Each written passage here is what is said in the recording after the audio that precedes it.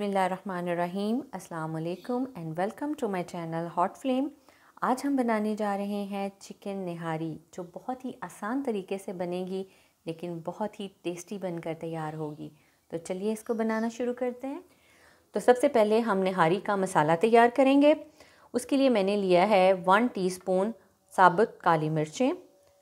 तीन अदद मैंने लिए हैं सब्ज़ इलायचियाँ तीन अदद लिए हैं मैंने मोटी इलायचियाँ चार से पाँच लौंग, एक बादियान का फूल, दो लिए हैं मैंने कड़ी पत्ता और टू टेबलस्पून जाएगा इसमें सफ़ेद ज़ीरा, थ्री टेबलस्पून सौंफ, टू स्टिक्स मैंने ली हैं इसमें पिपली की, हाफ़ इसमें जायफल लिया क्योंकि जायफल बड़े साइज़ का था तो मैंने हाफ़ कर लिया और ये जावत्री थोड़ी सी जाएगी। इन तमाम चीज़ों को अब मैं इसमें डाल लूँगी और इनको ग्राइंड करेंगे। मसाला पिस कर तैयार हो गया है। ये देखें, इस तरह से इसकी ये लुक आई है। अब इसके अंदर मैं बाकी जो पिसे हुए मसाले हैं वो ऐड करूँगी।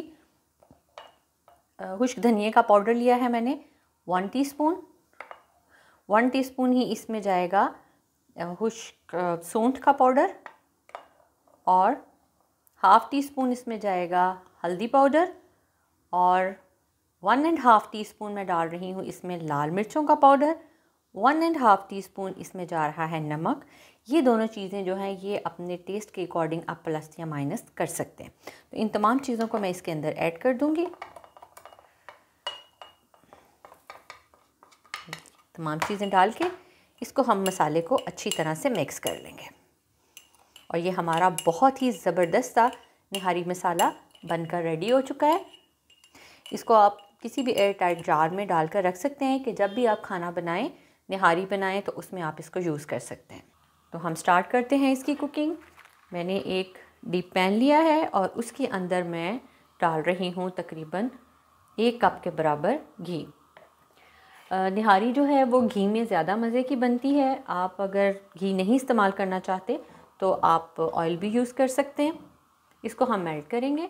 जैसे ही घी मेल्ट हो जाएगा, इसके अंदर दो मीडियम साइज़ के अनियंस उनको मैंने इस तरह से बारीक बारीक काट लिया।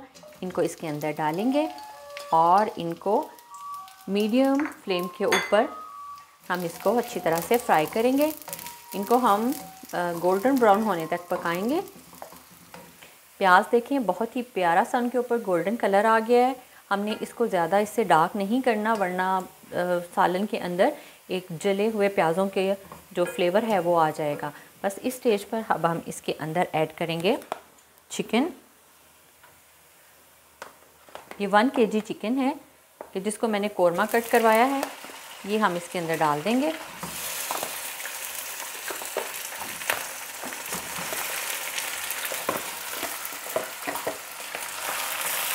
और मीडियम टू स्लो हीट में हम इसको अच्छी तरह से फ्राई करेंगे।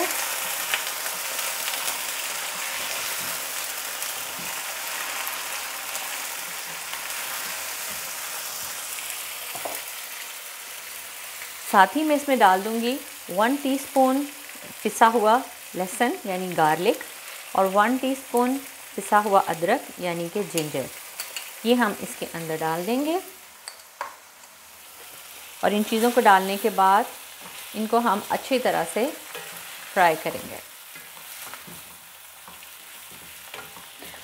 इस स्टेज पर आपने हीट को ना तो ज़्यादा, बहुत ज़्यादा तेज़ रखना है और ना ही बहुत ज़्यादा स्लो बस मीडियम हीट पर आप इसको चिकन को तीन से चार मिनट तक अच्छी तरह से भून लें।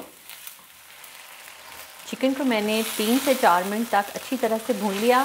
देखें इसके ऊपर कितना अच्छा सा कलर आ गया है। अब जो निहारी का मसाला मैंने पीस के रखा था, वो अब मैं इसमें डालूँगी। ये डाला हमने इसके अंदर मसाला। और साथ ही हम इसमें ऐड कर देंगे थ्री टेबलस्पून योगर्ट यानी दही। और इन दोनों चीज़ों को इसके अंदर डालने के बाद हम इसको अच्छी तरह से भून लेंगे। इस स्टेज पर आपने जो फ्लेम है, वो मीडियम टू स्लो रखना है। उसको आपने हाई नहीं रखना। इसको अब अच्छी तरह से हम दो से तीन मिनट के लिए भून लेंगे, ताकि ये मसाला अच्छी तरह से इसके अंदर अपना फ्लेवर छोड़ दें। मैंने इसको दो से तीन मिनट तक फिर अच्छी तरह से भून लिया है। दही का पानी इसमें से खुश्क हो चुका है। अब इसके अंदर मैं ऐड करूँगी तकरीबन ढाई से तीन गिलास तक पानी।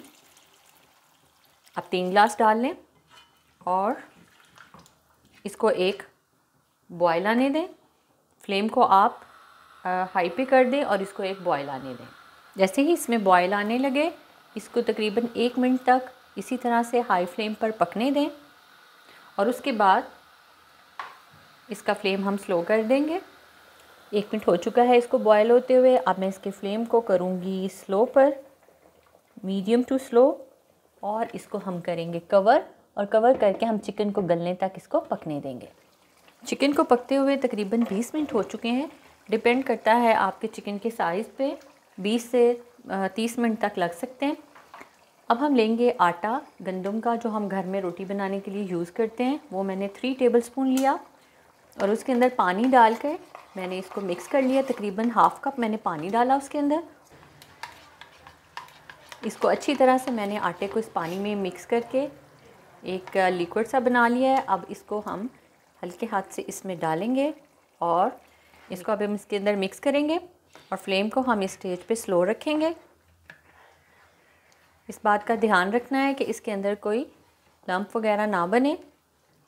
जिस थिकनेस तक आप इसको लेके जाना चाहते हैं, आप उतना आटा इसके अंदर ऐड कर सकते हैं। आटा इसके अंदर अच्छी तरह से मिक्स हो गया है और ये देखें, इतनी इसकी, इस तरह से ये इसकी कंसिस्टेंसी बनी है। इस स्टेज पर आपने इसको रखना है।